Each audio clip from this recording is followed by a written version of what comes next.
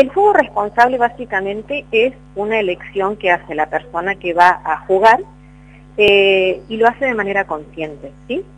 Vos bien dijiste en la introducción que hay mucha gente que cobra su sueldo y automáticamente va y lo juega en el casino.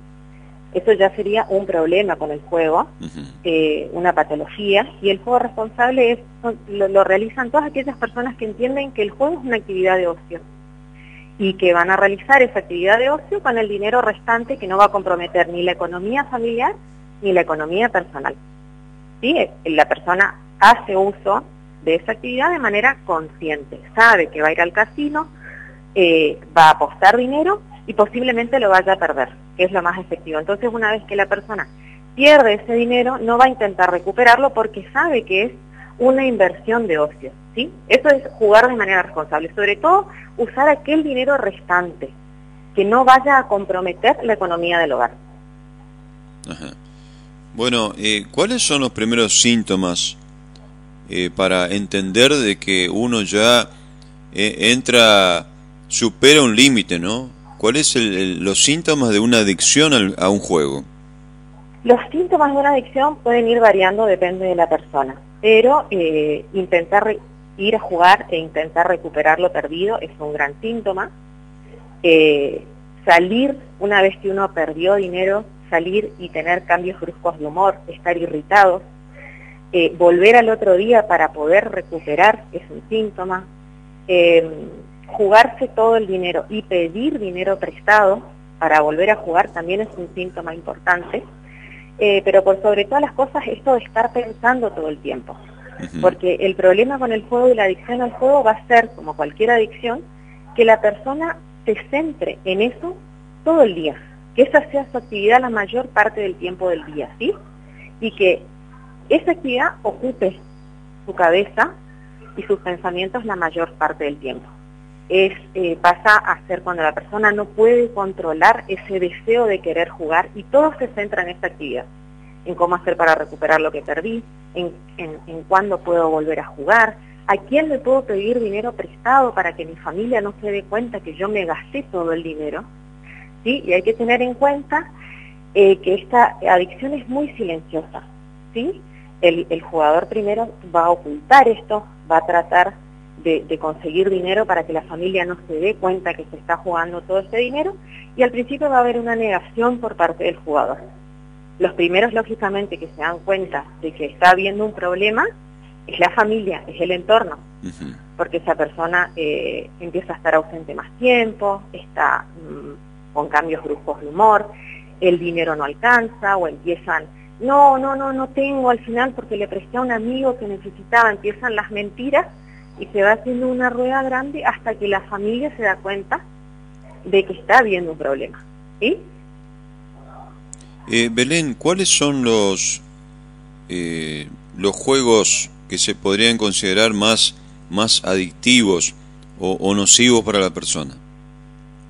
En base a las consultas que recibimos nosotros para realizar la autoexclusión acá eh, en la oficina y en las salas de juego, lo que mayor eh, los juegos que mayor eh, demanda tienen son eh, los comúnmente llamados tragamonedas, los instantáneos, digamos. Eh, no así la ruleta y los juegos de paño, sino que más los tragamonedas. Claro. hoy, hoy en día están, están habilitados los casinos, la posibilidad, digamos, de, de que los jugadores ingresen de forma normal. Sí, ellos tienen un protocolo establecido, con un límite de gente, eh, con una capacidad de gente limitada, eh, no funcionan todas las máquinas, eh, pero sí, hoy por hoy está en funcionamiento la sala de juego de manera normal. La persona que quiere jugar puede ir y, otra cosa que quería agregar es que se elige el tragamonedas por la respuesta inmediata que tiene eso. ¿Sí? La persona cuando está jugando necesita una respuesta inmediata que le va a causar placer. Entonces el tragamonedas es el que produce esa respuesta más inmediata. Vos sabés, Belén, que en mi introducción yo hacía referencia eh, a, una persona o a las personas que por ahí gastaban todo su sueldo, ¿no? En, el, en el tragamonedas justamente, porque lo que estoy contando es absolutamente real de, de vecinos de acá de Candelaria que inclusive ya eh, han roto su matrimonio a consecuencia de, de, eso, ¿no?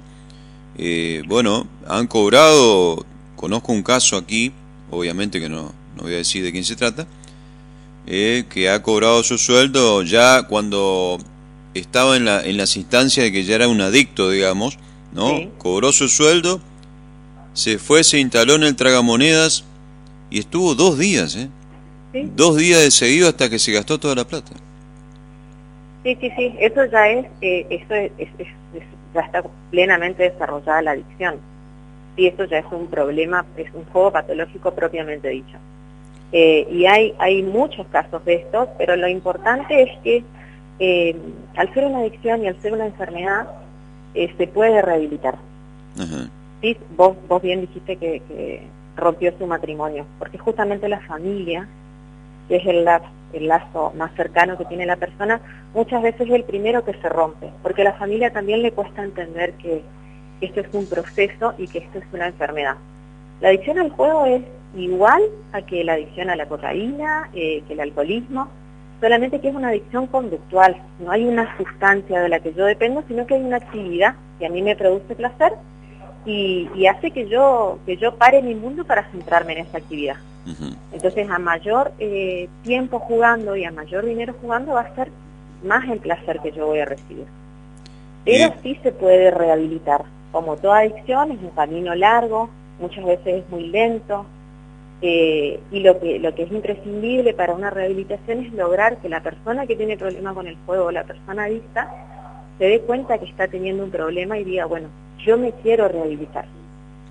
Porque al igual que la adicción al alcohol, al cigarrillo, a la cocaína, la adicción al fuego, si la persona no tiene conciencia de enfermedad, no puede dar ese gran paso que es la rehabilitación. Bueno, hablando de eso justamente, hago el paralelismo, dijiste la adicción al alcohol, eh, bueno, existe el grupo Alcohólicos Anónimos, ¿no? Eh, dentro de este rubro, eh, también hay, hay un grupo de ayuda que se dedica a, la rehabilitación. Sí, sí, sí, aquí en Misiones, en Posadas este, específicamente, está Jugadores Anónimos.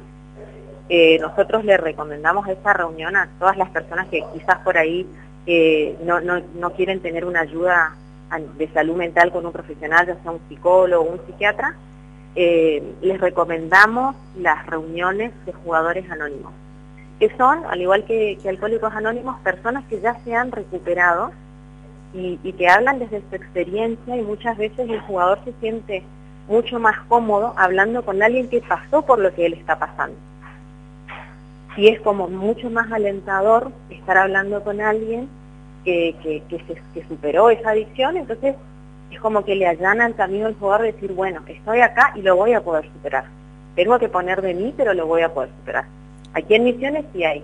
Se realizan dos veces eh, a la semana. Eran los miércoles y los sábados. ¿Y cómo, cómo se puede conectar con, con estos grupos la persona? ellos tienen una, ellos están en el edificio de Cáritas de acá de Misiones, se tienen que acercar y, consultar los horarios y inscribirse. Eh, ¿Dónde queda el edificio? El edificio de Cáritas queda en Félix de y Sarmiento. Ajá.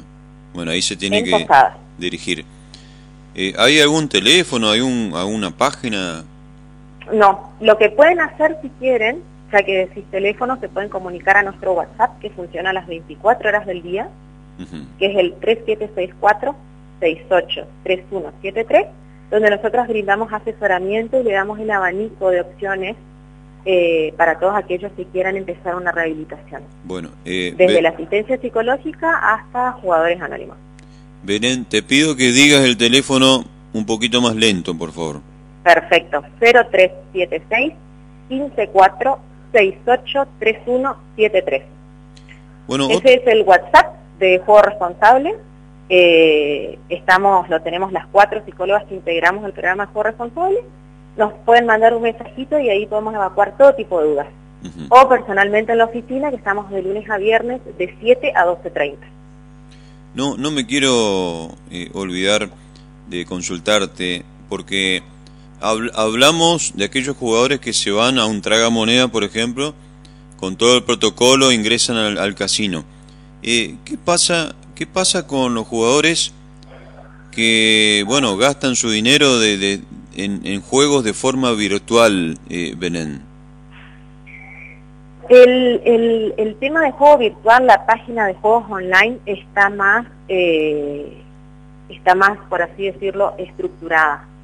No solo tienen la posibilidad de hacer la autoexclusión, que es un trámite personal donde la persona eh, pide que no se le deje entrar a las páginas y a las salas de juego durante dos años, sino que además eh, en las páginas online vos tenés la autolimitación. ¿Qué quiere decir esto? Que vos entrás y pones un límite de dinero que vas a gastar y un límite de tiempo que vas a jugar. Hipotéticamente yo quiero jugar hoy, eh, bueno, yo voy a entrar hoy, pero yo voy a poder jugar de 9 a 10 de la mañana y nada más que 700 pesos. Una vez que se cumplió ese horario y que yo ya jugué ese dinero, no puedo seguir jugando. ¿Sí? Yo puedo hacer eh, la autolimitación por día, por hora, por semana o por mes. Claro. Belén, hay muchas, hay muchas páginas que se dedican a los juegos virtuales, hay muchas empresas. Eh, hay muchas páginas a, nivel nacional, digamos, pero nosotros acá en, en, Misiones tenemos únicamente la de la de Guasubet, que es la nuestra, que es la del IPLIP, y es una página en donde no se puede jugar a nivel país, solo pueden jugar los misioneros.